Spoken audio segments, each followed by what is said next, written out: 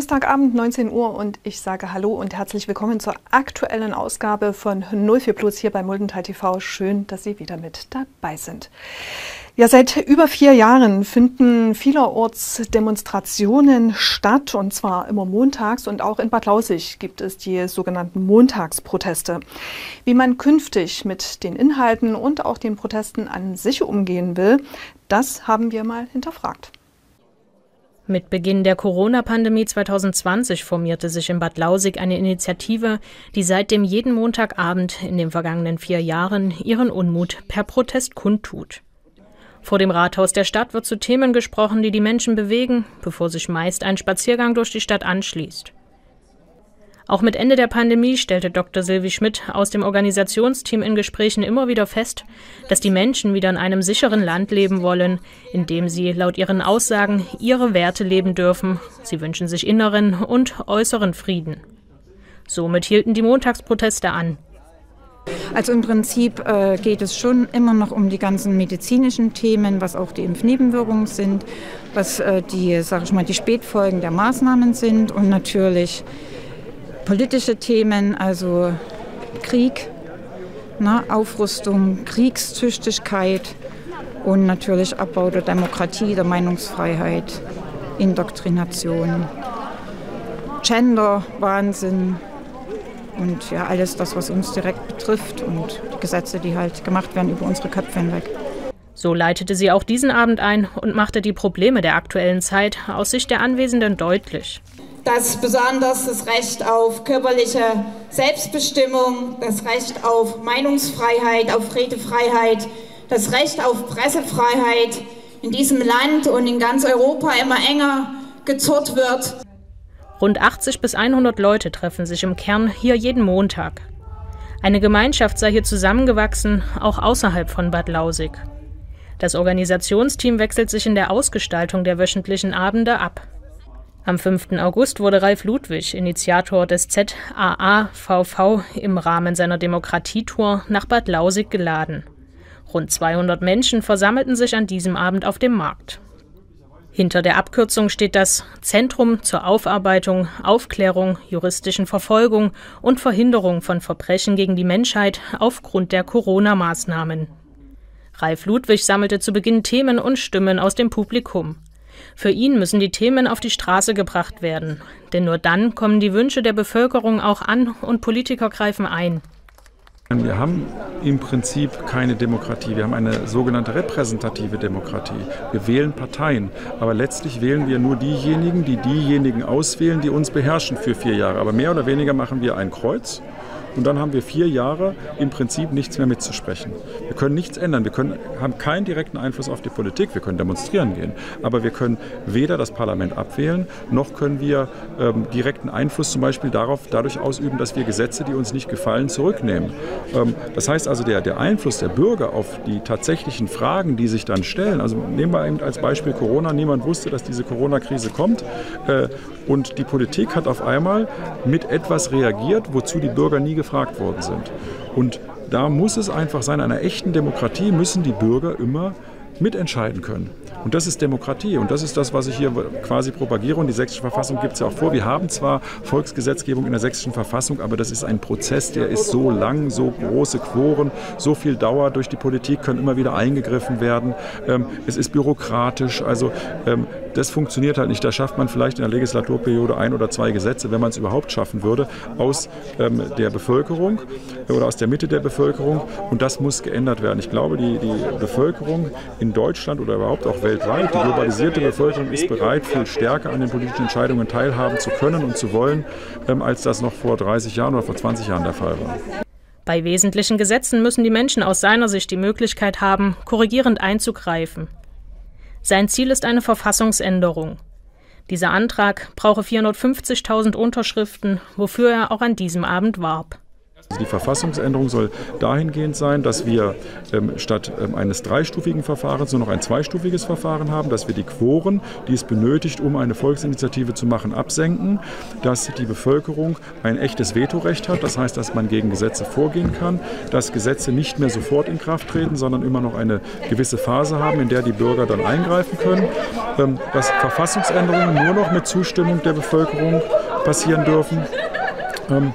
Ja, und dass eben auch die Quoren für die, sage ich mal, positiven, die Initiativgesetze auch abgesenkt werden, dass die Menschen eben ähm, leichter Gesetze einbringen können. Und ähm, was auch ganz wichtig ist, wird auch in die Verfassung geschrieben werden, dass diejenigen, die solche Gesetzesänderungen wollen oder auch solche Vetorechte haben, dass die im Plenum gehört werden, dass die im Parlament von der Politik angehört werden. Vom Feedback und den Gesprächen an diesem Abend war er begeistert. Wir sind in einer Konfrontationssituation. Ich glaube, auflösen können das nur die Bürger. Und deswegen ist die Lösung, dass ähm, wenn die Parteien schon nur so miteinander umgehen, dass dann wenigstens die Bürger auf der Straße miteinander ins Gespräch kommen. Die sind ja auch Kommunaler, die sitzen im Restaurant zusammen, die kennen sich äh, und dann auf diese Art und Weise ähm, wieder, wieder ähm, einen politischen Frieden schaffen. Die Ansicht, es brauche Diplomaten, die miteinander sprechen, wurde hier geteilt. Was ja dann auch nicht bedeutet, dass eine kleine Minderheit oder sowas sich durchsetzen könnte, sondern eine kleine Minderheit, also eine, eine, ist ja keine so kleine Minderheit, also in meinem Entwurf sind es bei den Vetorechten zweieinhalb Prozent der Bevölkerung, die kann halt dafür sorgen, dass über bestimmte Dinge abgestimmt wird und die Gesellschaft sich dann Gedanken darum macht. Das ist Gehör. Ich glaube, das dient auch dazu, Radikalität rauszunehmen, dass die Leute, die jetzt das Gefühl haben, sie sind ohnmächtig, weil ihre Themen gar nicht gehört werden, ja, dass die diese Themen auf einmal anbringen können, dass die dann gegebenenfalls auch in einem Plenum des Landtags besprochen werden müssen, dass gegebenenfalls sogar die Bevölkerung darüber abstimmt. Und dann haben sie auch ein Stimmungsbild. Ja, dann können die sich vielleicht gar nicht mehr hinstellen und sagen, wir vertreten hier die Meinung des Volkes, weil möglicherweise das Volk dann doch bei der Abstimmung eine andere Meinung vertritt. Zwar wurde an diesem Abend auch Empörung zu unterschiedlichen Themen deutlich, doch er sah viele gute Vorschläge, die es hier gab. Ähm, und das ist übrigens das, wie ich mir Demokratie auch vorstelle. Das ist gerade ganz gefährlich in Deutschland, ähm, dass bestimmte Positionen abgeschnitten werden. Weil dann haben wir eben nicht eine, ähm, eine repräsentative Meinung oder eine tatsächlich demokratische Meinung. Wir müssen auch denen zuhören, die aus unserer Sicht vielleicht unerträgliche Meinungen sagen und müssen das ertragen. Eine gute Demokratie, eine stabile Demokratie kann alle äh, extremen Meinungen ertragen, weil es sich am Ende doch immer wieder in der Mitte findet und in der Mitte ähm, eine, ja, in Amerika sagt man eine abgeschliffene Lösung, also quasi eine, ähm, eine, eine, gesellschaftlich akzeptable Lösung findet. Und das habe ich hier jetzt heute auch so erlebt. Die montäglichen Proteste werden hier auch weiter fortsetzen, verbunden mit einem Wunsch, hinter dem das gesamte Organisationsteam steht. Wir erhoffen uns einfach, dass die Leute, die immer noch schlafen und bequem auf ihren Sesseln sitzen, irgendwann aufwachen und erkennen, dass wir halt nicht rechts sind, sondern dass wir für Frieden einstehen und für unsere Grundrechte einstehen und für unsere Selbstbestimmung vor allem. Nach knapp zwei Stunden wurde die Veranstaltung traditionell mit einem gemeinsamen Gesang beendet. Die Gedanken sind frei. Dieser wird dann auch am kommenden Montag, vier Jahre nach Beginn der Kundgebungen, wieder erklingen. Drum will ich auch immer den Sorgen entsagen und will ich auch immer mit Grillen mehr plagen. Man kann ja im Herzen stets lachen und scherzen und denken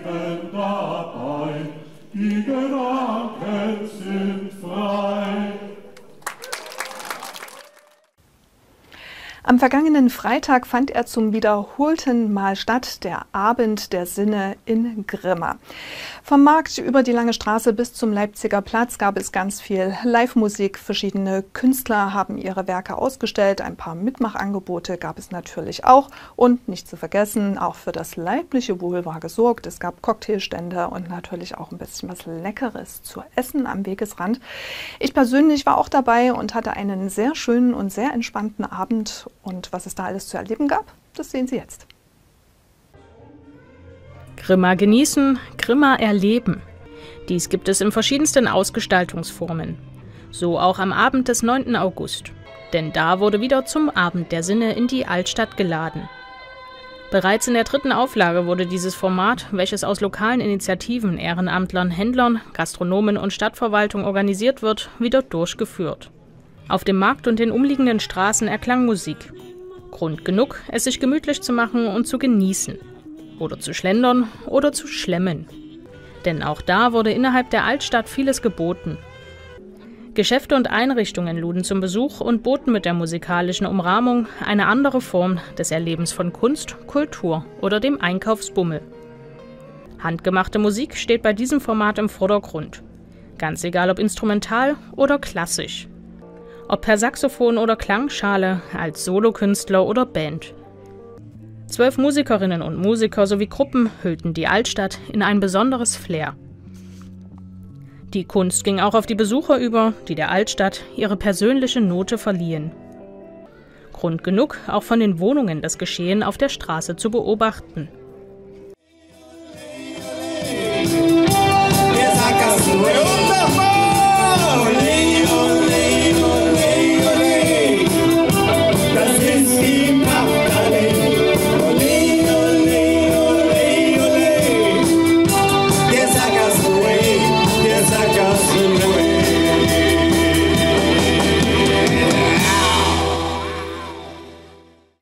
Verlauf des Abends schlenderten immer mehr Besucher durch die Straßen und Gassen von Grimma, die sich von Musik und Klangkunst verzaubern ließen.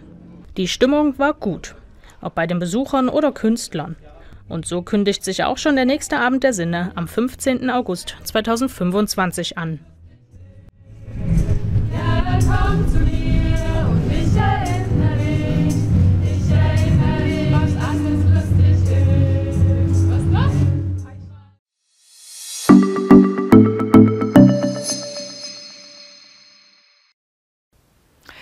Kommen wir nun zum Sport und da sind diesmal Fäuste gefragt und zwar zur Fight Night in Grimma. 13 Nationen traten bei dem internationalen Sportevent in 19 Kämpfen gegeneinander an. Wir waren für Sie dabei und haben uns einige Wettkämpfe mit der Kamera angeschaut. Der 26. und 27. Juli standen im Gewerbegebiet Grimma ganz im Zeichen der Fight Night. Auf dem Areal des Sunside Beach zeigten Boxer aus 13 Nationen, was in ihren Fäusten steckt. Mitveranstalter Tobi Mihalik freute sich über die Vielfalt boxerischer Klasse, die in den internationalen Vergleichskämpfen steckte. Dafür ist der Gründer eines Amateurboxverbandes gern nach Grimma gekommen. Na, die Idee ist eigentlich dahin entstanden. Thomas hat vor zwei Jahren wieder angefangen, Masters Boxen und ist bei mir in den Verband gekommen, hat gesagt, ich möchte wieder boxen. Und ich habe den Vogel gleich gemocht und dann habe ich gesagt, du hör zu, wollen wir was bei dir machen.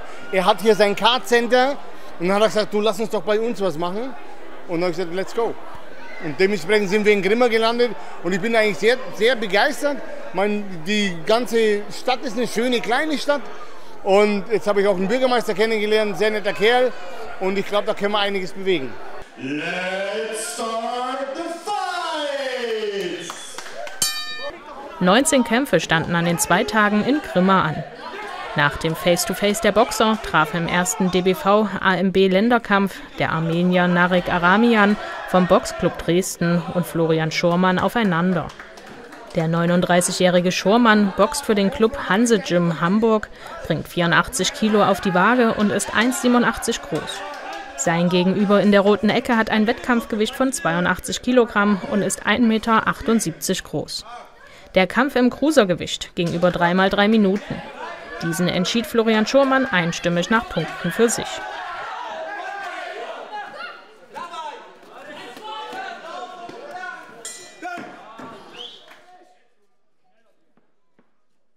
Der Länderkampf im Halbmittelgewicht zwischen dem Polen Pavel Lütschek, rote Ecke, und dem Deutschen Jan Linge hatte Lokalkolorit. Der 18-jährige Boxer vom SV Einheit Mutschen hatte bisher zwei Siege, zwei Niederlagen und ein Unentschieden auf seiner Kampfliste zu stehen. Sein zwei Jahre jüngerer Kontrahent fünf Siege und zwei Niederlagen. Der Fight ging auch hier über die volle Distanz und schlussendlich gewann Linge diesen einstimmig nach Punkten.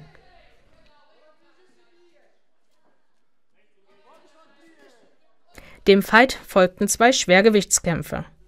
Wir entscheiden uns für den Kampf von Anthony Marin, rote Ecke, und Engel Rushiti, blaue Ecke. Der US-Amerikaner Anthony Marin boxt für die Fightbase Kümmersbruck, bringt 88 Kilo auf die Waage und hatte bisher alle seine Kämpfe gewonnen. Sein Gegenüber, der Albaner Engel Rushiti, wiegt 86 Kilogramm, ist 1,85 Meter groß und kämpft für den Boxclub Neumarkt. Der Fight war stark und ging über die volle Distanz. Den starken Boxkampf würdigte auch das Kampfgericht. Es kürte Anthony Marin zum besten Boxer und Engel Rushidi zum besten Techniker des ersten Abends der Fight Night. Der hat auch den Kampf einstimmig nach Punkten gewonnen. Mit dem Niveau der Kämpfe zeigte sich auch Veranstalter Thomas Koch zufrieden.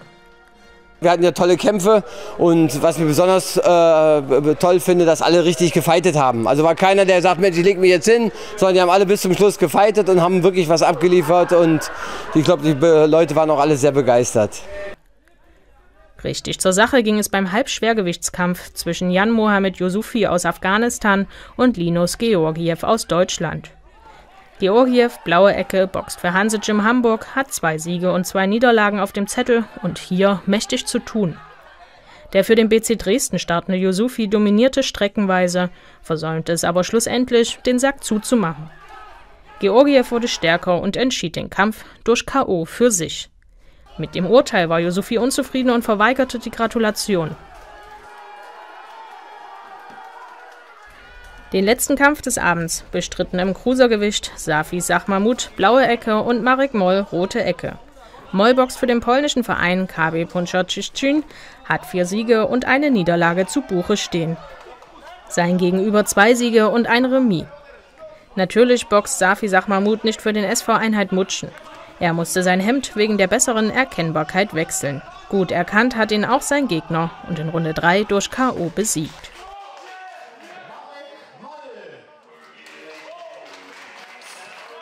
Auch der Grimmaer Oberbürgermeister Matthias Berger stattete der Grimmaer Fight Night am Samstag einen Besuch ab. Ich habe selten so viele Leute mit blauen Augen gesehen hier. Das ist mir aufgefallen. Und das Zweite, undenkbar aus heutiger Sicht, bei mir war es noch so, so kurz vor der Wende, wir hatten im Sportunterricht noch Boxen. 11. und 12. Klasse war bei uns Boxen, war bei uns, wurde benotet. Also das war natürlich ein bisschen eine Choreografie. Und wenn der andere das dann nicht kannte, da hat sie dann ein blaues Auge. Äh, aber insofern, ich weiß, dass das konditionell und technisch ist das sicher der anstrengendste Sport überhaupt mit. Insofern Hut ab, äh, tut euch nicht weh hier, der Beste möge gewinnen und vielen Dank an die Veranstalter, dass ihr das gemacht habt. Wenn wir helfen können, natürlich gern. Sportfrei. Danach hieß es Let's start the fight. Den ersten Kampf von insgesamt zehn an diesem Abend bestritten in der roten Ecke Seidov Jabrail aus Tschechien und in der blauen Ecke Akam Bader aus dem Irak. Der AMB-Newcomer-Kampf im Papiergewicht ging über drei Runden a zwei Minuten. Bader, der für den BC Osnabrück boxt, ist 13 Jahre alt. Sein Gegenüber, der für den BC Dresden in den Ring steigt, ist 14 Jahre alt. Die beiden Fighter versteckten sich nicht hinter ihrem Kopfschutz und zeigten Leistung. Das gefiel auch dem Publikum, welches gern etwas zahlreicher ins Boxzelt hätte strömen können. Für beide Fighter hieß es am Ende Remis. Wir springen in den Supergewichtskampf zwischen Thomas Wolf und Jiri Grundmann. Der 42-jährige Wolf, rote Ecke, hat ein Wettkampfgewicht von 112 Kilogramm und boxt für den BC Frankfurt am Main. Der 50-jährige Jiri Grundmann vom Kampfsportclub Wilkau-Haslau bringt 124 Kilogramm auf die Waage und ist 1,81 Meter groß. Der Kampf ging über drei Runden a zwei Minuten. Thomas Wolf entschied ihn einstimmig nach Punkten für sich. Jiri Grundmann wurde am Ende des Tages als bester Boxer ausgezeichnet. Im Weltergewicht, der Gewichtsklasse zwischen 57 und 62 Kilogramm, standen sich der Moldawier Artyom Magalu Rote Ecke und Chris Gläser vom Kampfsportclub Wilkau-Haslau gegenüber. Der 34-jährige Gläser ist ein Newcomer und wird von Jiri Grundmann betreut. Sein Gegenüber, der 19-jährige Magalu, boxt für den BC Dresden. Magalu dominierte den Kampf und entschied diesen nach 37 Sekunden durch K.O. Damit ging es in die letzte Pause des Events, das in der Organisation im Vorfeld viel Kraft gekostet, aber für Begeisterung gesorgt hat. Ja, eigentlich sehr, sehr zufrieden. Das war ja auch der Grund zurück in den Osten, sage ich ganz gern, weil Osten ist Boxen durch und durch. Die meisten wissen es wahrscheinlich schon gar nicht mehr. Aber zu meiner Zeit, wo es noch die getrennten Bereiche gab, war Osten eigentlich die Messlatte, was Boxen angeht. Und ich habe gesagt, das müssen wir wieder zurückbringen. Deswegen habe ich auch gesagt, es sind so viele Ältere noch, die das noch kennen. Und die müssen wir reaktivieren, dass deren Kinder auch wieder boxen, dass der Boxsport in Deutschland auflebt. Ein spannender Kampf aus regionaler Sicht kündigt sich als nächster an. Das war auch für Thomas Koch ein ganz besonderer. Er fungierte als Coach für seinen Sohn Bastian und war mega angespannt. Der 35-jährige Bastian Koch trat im Supermittelgewicht gegen Rocky Stöbegell vom AC Taucher in den Ring. Der Taucher an der roten Ecke wurde gecoacht von Diego Drum. Drum war Junioren-Europameister, DDR-Meister und 1988 Olympiateilnehmer für die DDR. Sein Schützling ist 32 Jahre alt, 75 Kilogramm schwer und 1,77 Meter groß, hat 17 Kämpfe auf der Uhr und konnte acht davon gewinnen. Koch hat von seinen 35 Kämpfen 18 gewonnen und war 2007 süddeutscher Meister. Die Kontrahenten mit fast gleichen Körpermaßen schenkten sich bis an die Grenze der Übermotivation nichts. Im Fight war mächtig viel Bums. Ob beide das hohe Tempo bis zum Ende des Kampfes durchgehalten hätten, ist vertagt. Rocky Stöbegell zog sich einen Cut über dem linken Auge zu. Das führte zum Abbruch des Kampfes in der ersten Runde. Da beide Kämpfer bis dahin gleich auflagen, werteten die Punktrichter den Fight als Remis. Ob das Rematch bereits am 12. Oktober in der Muldentalhalle Grimma startet, ist nicht kommuniziert, die Veranstaltung aber schon.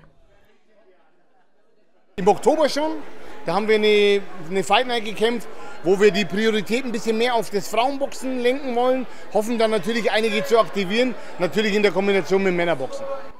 Die Vorbereitungen dafür laufen. Übrigens wird auch Veranstalter Thomas Koch an diesem Abend im Oktober selbst in den Ring steigen. Äh, am 12.10. wollen wir eine äh, Nachfolgeveranstaltung. Da wollen wir zum ersten Teil Frauen boxen lassen. Wollen wir richtig, und da wollen wir auch äh, Männer nehmen als Nummerngirl oder Nummern, Nummern. Und äh, dann die, äh, danach wollen wir eine Männerveranstaltung machen. Und da ist auch schon angekündigt worden, dass da wahrscheinlich Europameister und Weltmeistertitel erboxt werden. Im Ring allerdings als Ehrengast stand bei der Fight Night in Grimma auch Halbschwergewichtler und IBO-Weltmeister Dominik Bösel. Im Gespräch mit Moderator Thilo Ransch hielt er die Fahne für den ostdeutschen Boxsport hoch. In DDR waren wir viel, viel stärker, das haben wir noch in die BRD ein bisschen mit reingenommen. Also ich als Jugendlicher, wir haben jede deutsche Meisterschaft gewonnen und ähm, da hatte der Westen gar nichts zu melden. Und beim Profis war es eigentlich nicht anders. Also alles, was von hier kam, konnte boxen und kann auch immer noch boxen. Und wünschte sich? Das ist sehr schwierig. Selbst international sind ja die Verbände verstritten, sieht man gerade auch bei Olympia. Ähm, wir sind nur eine kleine Gruppe. Es wäre schön, wenn alle zusammenhalten, so wie hier heute, und versuchen zusammen wieder größer zu werden. Mit Let's Start the Fight ging es zum letzten Kampf des Abends. Beim DBV AMB Länderkampf im Schwergewicht standen sich in der roten Ecke Safi Sachmahmut und in der blauen Ecke Angelo Venjakob gegenüber. Letzterer boxt für den BC Osnabrück, hat ein Wettkampfgewicht von 95 Kilogramm und ist 1,92 Meter groß. Kontrahent Safi Sachmahmut hat seine Wurzeln in Afghanistan und boxt für den BC Dresden, ist 22 Jahre alt und der deutlich kleinere Athlet. Den Vorteil nutzte Jakob und gewann den Kampf einstimmig nach Punkten. Außerdem wurde er als bester Techniker an diesem Abend geehrt. Damit ging die Grimmer Fight Night in den Party-Modus über.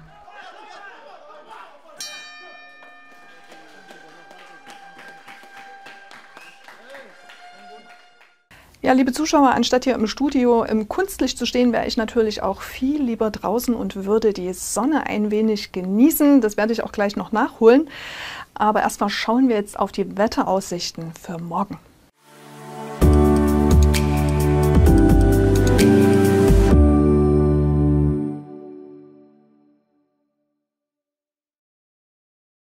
Nach der kleinen Abkühlung scheint auch am morgigen letzten Tag der Woche in unserem Sendegebiet morgens die Sonne bei blauem Himmel. Die Temperatur liegt bei angenehmen 16 Grad. Im weiteren Verlauf des Tages ist es von mittags bis zum Abend hin teils wolkig, teils heiter. Die Temperatur kann aber wieder bis auf 30 Grad klettern. Wie sich dann das Wochenende gestalten wird und ob uns der Sommer noch eine Weile erhalten bleibt, sehen Sie morgen an dieser Stelle bei 04 Plus.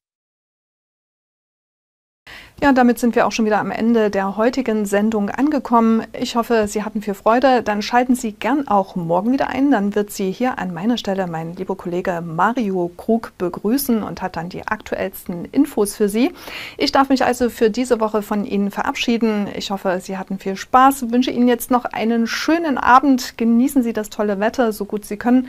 Ich werde das jetzt auch tun und dann sehen wir uns hoffentlich ganz bald an dieser Stelle wieder. Ich freue mich drauf. Bis dahin, machen Sie es gut.